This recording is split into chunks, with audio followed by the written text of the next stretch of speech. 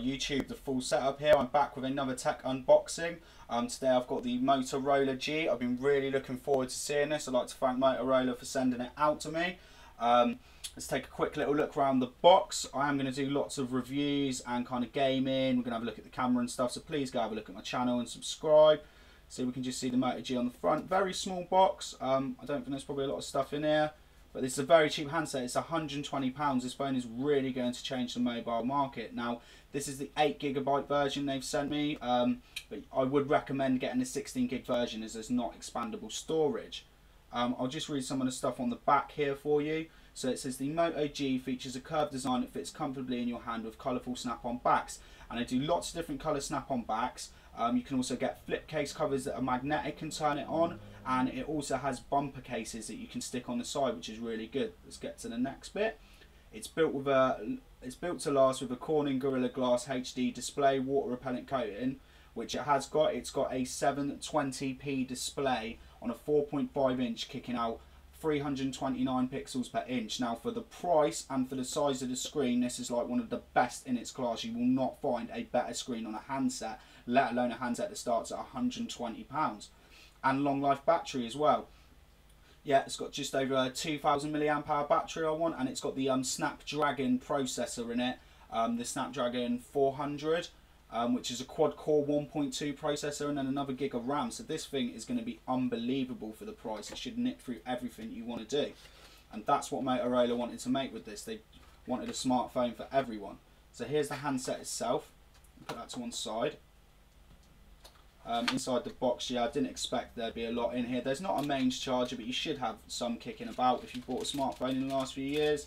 Um, or you can plug it into your laptop. So there's the standard micro USB and then we have some documentation um, safe smart protected it's just about using the battery charge and all that kind of stuff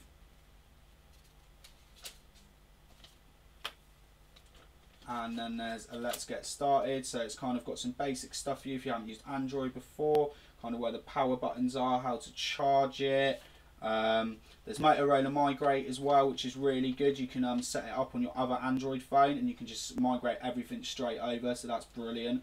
Just how to do home screen, basic stuff, I know that anyway, but it might be good if no one's used it. And how to open the back case as well to change the cover.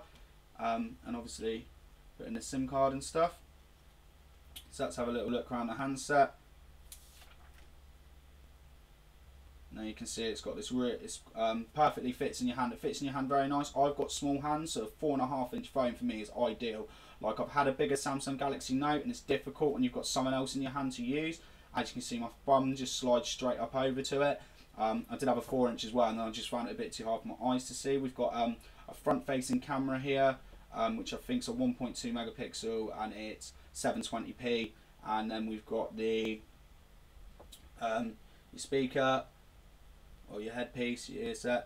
Then we have a 3.5 millimeter headphone jack. Um, what's looking like to be another microphone. We have the 5 megapixel camera at the back. It's only rated 720p, but still that's really good. Um, you have to remember this phone is 120 pounds it starts from, so it's packing a lot of spec. Um, got an LED flash, speaker on the back, volume rockers, and power. Now I won't turn it on because it's just going to do all the Google Android setup, which is very easy to do. But I am going to do a full review I'm going to do some gaming tests. Um, I'm going to show you the camera and stuff. I think this is going to be an absolutely fantastic phone and a lot of people, this will be the one for you to go and buy. It's a quarter of the price of flagship phones and it's not far off on the specifications. So please go back to my channel and have a look. Thanks for watching.